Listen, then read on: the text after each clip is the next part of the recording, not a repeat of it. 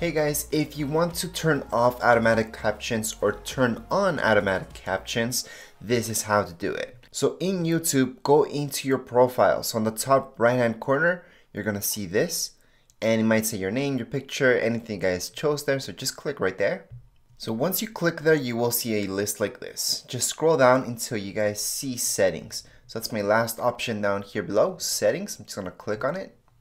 And then from settings on your left hand side, you will see the third option where it says playback and performance. So just click on playback and performance, our third option on the left.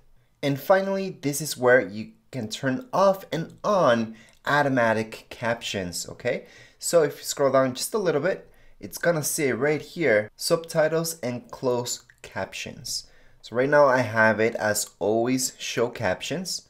I can go ahead and just take off this check mark and that's it.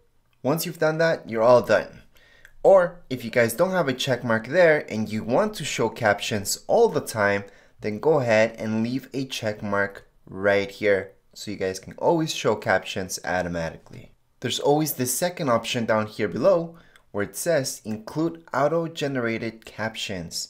So for some of you may want this or if you have that check mark, right now it's the time to take it off. Once again, this is up to you guys if you guys do want those captions to be turned on all the time or turn them off. Once you guys have selected the option that you would like, go ahead and watch any YouTube videos.